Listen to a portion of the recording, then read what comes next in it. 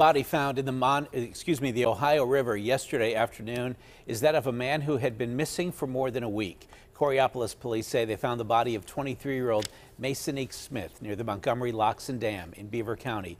His family had told police Smith may have been depressed. His cause of death is under investigation.